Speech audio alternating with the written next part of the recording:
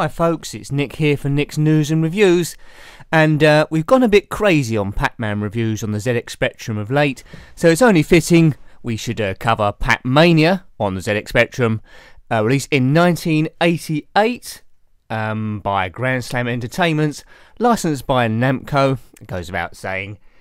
Um, from the arcade coin-op, um, just like all the other versions of this game, it's a choice of, well, there's four different sort of mazes, but three are selectable uh, Blocktown, Pac Man Park, and Sandbox Land. Um, really like, enjoyed this game on the Commodore Amiga, so let's see how the playability compares on this one. Uh, no music throughout the um, game, which is a bit awkward.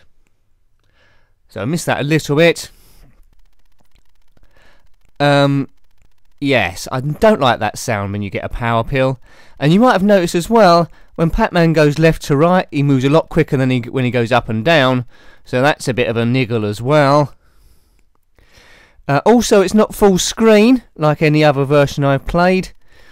You only see bits of it, which might get a bit awkward if you've got to jump over ghosts in a tight um, spot. I forgot the word spot there, that was good. But it's pretty much the same. You collect the power pills, the ghosts go black in this instance, which means you can eat them. Once they go back to normal colour, you can't. Uh, no different colour ghosts in this, they're all the same colour as the maze, so that loses a little bit somewhat. The AI isn't quite as clever, so quite often you get loads of them all in a row. Do I like this version of Pac-Mania? Oops. Well, it sort of survives, but um, it, I, I think they could have done a bit better, really. Um, Pac-Man's all about the music and the, the wacka wacka noises as you're eating the pills. This hasn't really got it, so it doesn't really feel like Pac-Man. I have to say it, um, although the 2D versions, uh, Pac-Man, I prefer playing those than this, although this is a lot more advanced.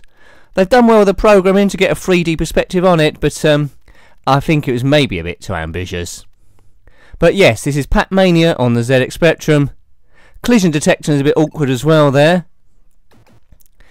Um, you seem to be out to out to run the, the ghosts going left and right, as I said, but going up and down they seem to be the same. So I'm sure that wasn't intended, and then we see four ghosts all in a row there. Not sure that should be happening. Uh, Power Pill's normally yellow, but at least Pac-Man's a different colour, although his colour does clash a little bit. So at least that one bit's different. Round cleared, good job, we collect all the pills. Ladies and gentlemen, it's the Pac-Man Theatre. Just imagine the music. Can't remember how it goes now. On to the next stage. Here we go. This is Pac-Man's Park. A bit colourless, all a bit white. You can see here we can't see much of the maze. But same again, collect all the pills, then you're on to the next level.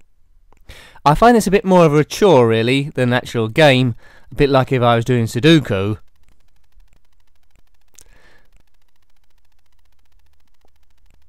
I don't know what that is that's materialised. A bit of fruit. Looks like a melon. Fruit target. Man, this game's dull. But it is Pac-Man. Uh, that's a bit more you can say, but um, play this on the Commodore Amiga. Got a review of that, so have a look at that to um, see how it compares.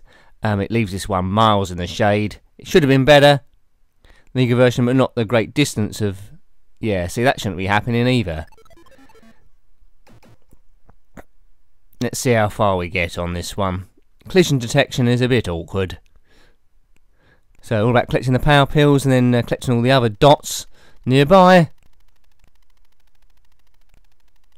Um, what good things can I say about this game? Well, it scrolls okay. I'll give it that.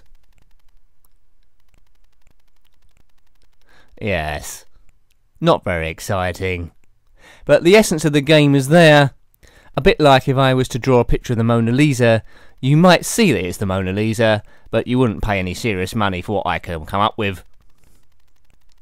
So it's an echo of the game rather than the game itself. Maybe I'm being a bit too harsh. If you love this game, comment below. I've also got it on my phone as well. Plays better on the phone than this. So it might do a bit jumpy. See the ghosts have changed colour. They're white to, to uh, match the maze.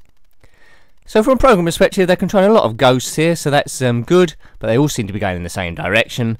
And as I said, they quite often, uh, all of them are seen to be in a line on any maze at the whole time. But it seems to be going quite well here. Famous last words. Uh, I think the ghosts start jumping on the next uh, level. There we go, round clear, good job. I think there's two mazes, different colours of this one, yep. So we go into green mode.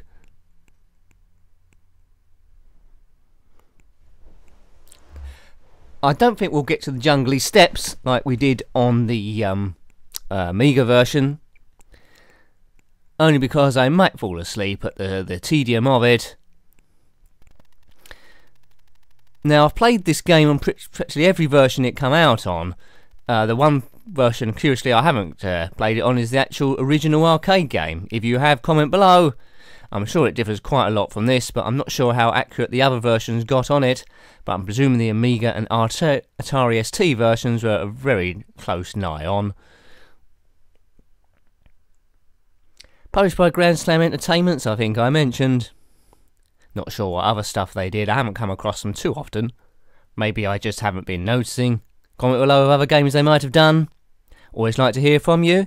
Also, comment, rate, and to subscribe. I'm I'm lacking comments at the moment, so we're trying to update the um, the amount of uh, videos I upload. Try and create a bit of interest there. But having I work as well to pay the bills, but uh, work does tend to get in the way. Who knows? One day I might be able to do this for a living, but at the moment I'm about a billion light years away, and uh, that's not even in sight. Videos aren't even monetized yet, it just wouldn't be worth it. Game over, see you! I think, um, I think this warrants maybe one more go, just to show you one of the other mazes. Maybe show you uh, Sandbox Land, but essentially it's the same gameplay. Patterns in the maze are a little bit different. To replay this level, press fire within 5 seconds. I don't think we will. So I don't know how much money Namco made out of this game, out of all formats, but I'm assuming it was quite a lot. Uh, Jungly uh, Steps isn't selectable at the start, and this is when it starts getting a little bit more difficult. Beware of jumping ghosts. So yes. I suppose it looks a little bit graphically, you, you've got the, the black with the yellow background. But gameplay, I don't think it's moving much quicker. It's moving a little quicker, I think, but not a great deal. I don't think there was a Mus Pac Mania, but there was a, a Pac Land, I think. I don't know how that goes. That's it, you're dead ghost. Let's just see if we can complete this. I'm not sure this is the exact same pattern as the other versions, you know? I don't remember that below there's a dead end. I don't remember there being a dead end before, unless we can jump over it, can we? No. Yeah, I don't remember any dead ends before. Maybe that's a glitch. I do not know any cheat modes on this game either, but I expect there was some. If you know, then let us know. But I doubt we'll be playing this game for quite some while, if ever again. yes, that's a bit of an indictment. But there's so many games. I mean, this is okay. I wouldn't say this is a terrible game. It's just not as good as the other versions. And a little bit flawed as well. But it holds together what it does. The load times are good from an original cassette, of course. It's not doesn't have to load anything else. So they've done okay. One of the later Spectrum games in terms of actual development. There, there are modern day homebrews. I'll have to check them out at some point because I don't know too much about the homebrew games that are around. As we eat a banana. Right, are we going to do this? I think we can't have too many more pills left. I don't know what those dots are underneath each of the pills. Is that some sort of shadow? Possibly. Right, there's one here. There's two down below. That's it. Oops. I forgot that the ghost can jump now. That might help us. Let's, let's call that animation, how it spins around. Yes, round clear, good job. I like the animation when it dies. That's a good job. Another sandbox, but this time in blue. Oops, I didn't mean to do that. Well, it didn't last very long that time. That annoying noise saying the ghosts are vulnerable. Hmm. 1988, eh? How things were different back then. I'm not sure how much you would have paid for this game at the time, Probably about I don't know how much were games then. Probably about twelve pounds, maybe maybe six pounds. I'm clueless. I'm not sure. Although Grandslam um, did the uh, UK version, I, I think it was released in other countries as under a different um, publisher. I might be wrong on that bit. Should have done my research. Right, but I don't know, as I say, I don't know why they didn't use the full screen. I mean, that bit down the right there with the Pac-Man and the scores, they could have squeezed that down to the bottom. I can only guess it's some sort of a memory uh, constraint, as we now seem to be followed by every ghost in the maze. Oh, we're not outrunning them going left to right this time. I think they're going to gradually catch us up. We need a power pill. That's it.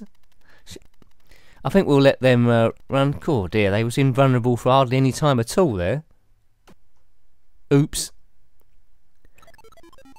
Right, that's a life lost. Three lives left, I think. There's three smiley faces anyway, so I'm presuming that uh, that tallies up. Come on, Pac-Man.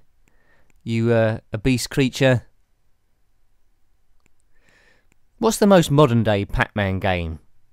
out at the moment. When was the last one released? That's a bit of a quiz question for you. If you want to be the first person with the answer, then comment below and we can all say what a clever person you are. Or, or whatever. That's good. Got to make the most use of this one. Whoops. So I'm showing you a good percentage of the game. Jungly steps doesn't differ too much, although you're going up and down uh, jungly steps. Man, that, that, that was a good explanation. That's the best you're going to get. Hmm, seems those ghosts have got slightly different faces. Would have liked them to be different colours. I don't know how difficult that would have been to do. Give them their own character. Oh, this was a bit impossible here.